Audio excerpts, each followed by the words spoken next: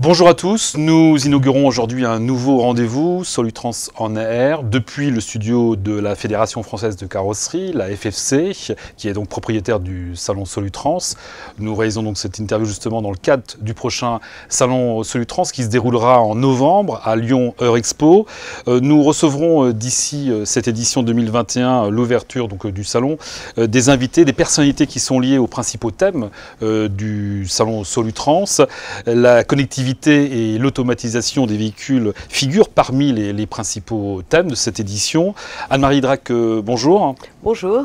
Alors, vous êtes euh, notre première invitée, donc vous êtes euh, la bienvenue sur ce studio en tout cas. Merci. Je rappelle que vous êtes haute responsable pour le développement des véhicules autonomes en France. Vous avez été nommé fin 2017 et vous avez remis un rapport, c'était en décembre je crois, sur la stratégie nationale des véhicules autonomes. Quelle est la part du transport routier et de la logistique dans ce rapport alors effectivement, depuis euh, un peu plus de deux ans, on travaille à, la fois les pouvoirs publics, euh, donc euh, il y a une bonne demi-douzaine de ministères impliqués, et puis les acteurs privés. Alors au début, c'est parti plutôt des constructeurs automobiles, et puis de plus en plus, il y a le numérique, les acteurs de la route, etc., etc. Bon.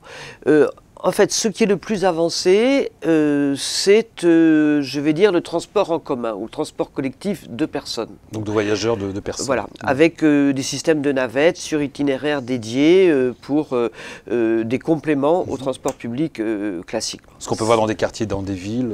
voilà, pour l'instant, on en est dans le monde entier à des expérimentations hein, mmh. et avec des navettes. Et il se trouve qu'en France, on a plusieurs navettistes de renommée internationale. Vous voyez, ce matin, j'étais avec des Coréens et ils avaient euh, en arrière-plan de leur, euh, de leur vidéo euh, des navettes de Navia, mhm, d'Easy Mile et de, mhm. et de l'or.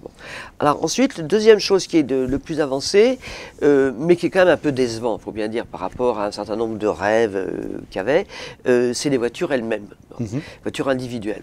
Par exemple, on a considéré comme un succès absolument formidable l'été dernier le fait que l'ONU, parce que oui, il se trouve que c'est à l'ONU que ça se passe, c'est un peu bizarre, mais c'est comme ça, bon, a autorisé des voiture à circuler de manière, enfin sans conducteur, à 60 à l'heure sur autoroute.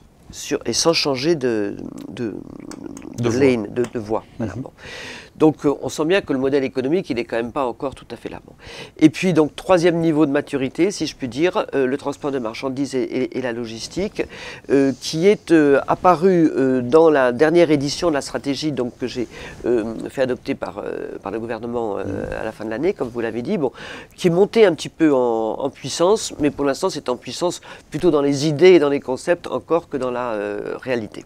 Pour l'instant en France, en tout cas sur nos routes, sont possibles les expériences c'est dans la loi, c'est ça hein Oui. Notamment dans la LOM, je crois. Voilà. Donc, euh, effectivement, des expérimentations sont possibles. Et alors, euh, c'est essentiellement le, pôle de compétitivité CARA, donc euh, de Lyon ou, près de Lyon, donc, mhm. qui, qui anime ça, avec à l'intérieur du bloc logistique et transport de marchandises, en fait, il y a trois niveaux envisagés, par ordre de croissant de, de, de, préparation, je dirais.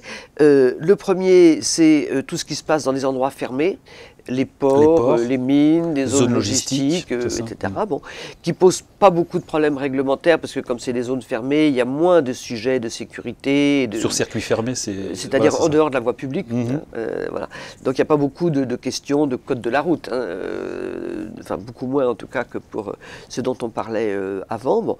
Ensuite, il commence à y avoir des idées qui émergent sur la logistique urbaine, c'est-à-dire mm-hmm. sur les livraisons du dernier kilomètre. Bon, il y a quelques opérateurs qui y réfléchissent. Pour l'instant, à ma connaissance, il y a une expérimentation en France, c'est à Montpellier. Euh, mais plutôt qu'un robot livreur, c'est plutôt, je dirais, euh, un robot qui assiste les personnes qui vont elles-mêmes chercher leurs courses et qui peuvent avoir du mal à les porter ou des choses, euh, ou des choses comme ça. Bon. La Poste est un des acteurs qui s'y intéresse beaucoup, mmh. bien sûr pour le, pour le courrier, enfin, ou pour les colis. Pour les colis. Bon, mmh. voilà. et donc ça, je pense que ça va monter assez vite parce qu'il y a une certaine certaine demande euh, et il y a un début de, structuration des acteurs. Et puis troisième niveau, celui que vous avez sans doute encore plus en tête, mhm. ça serait un jour des camions sur, sur autoroute. Bon, là, on n'en voit pas encore émerger. Et vous savez, dans, tous les, dans, tous les sujets de véhicules autonomes, il y a à la fois des questions de technologie stricto sensu, c'est-à-dire la connectivité des véhicules, en l'occurrence des camions, etc. Bon.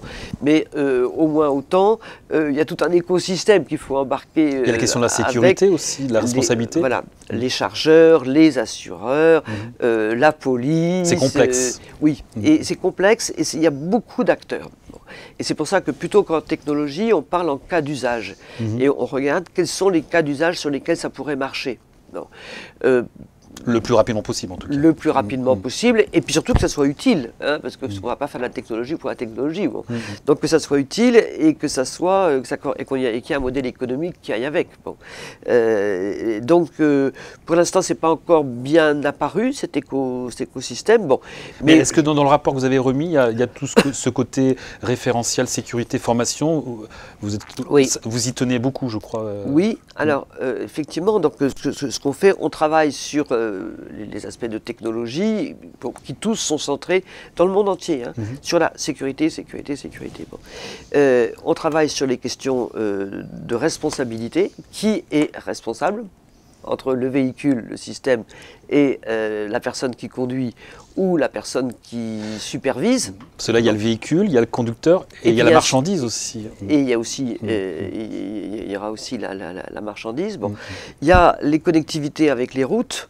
Euh, et en particulier dans les endroits difficiles comme euh, les carrefours, les intersections, les passages de péage. les obstacles en fait. Les obstacles, mm. euh, voilà. Il y a des choses par exemple qui ont l'air de marcher bien selon certaines météos et d'autres pas. Mm. bon. Donc. et suivant si on prend la Wi-Fi ou le 5G, il y a Alors il y a aussi le sujet, il y a mm. aussi le débat Wi-Fi 5G, même si en principe la théorie du véhicule autonome, c'est qu'il est censé pouvoir se débrouiller tout seul avec la 5G, je dirais, en, plus, en sécurité. Mais au départ, c'était l'idée qu'ils allaient pouvoir se développer tout seul. Donc oui, référentiel de sécurité, de conduite, et référentiel euh, assez précis sur euh, les itinéraires, sur les manœuvres, mmh. euh, sur les C'est complexe hein, quand même. Très complexe. Mmh.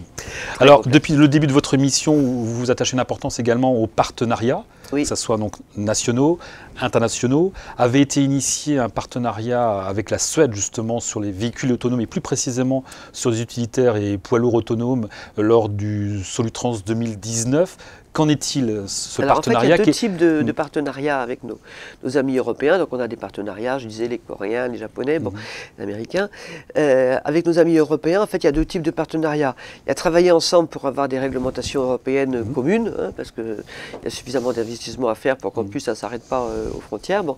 Et puis il y a éventuellement des partenariats industriels. Alors il se trouve que, ou, des partenariats, je dirais, d'échange. Hein.